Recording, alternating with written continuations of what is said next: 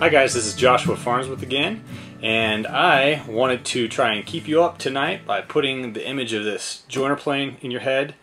I am finishing it tonight and putting on a coat of tung oil, uh, three quarts of tung oil. Just wanted, this isn't a tutorial, just wanted to give you something to look at, uh, to dream about tonight. So, uh, and also this, this is an 18th century jointer plane that I made out of beech wood, and I'm actually going to be filming a video with Bill Anderson, a really well-known plane maker and joiner.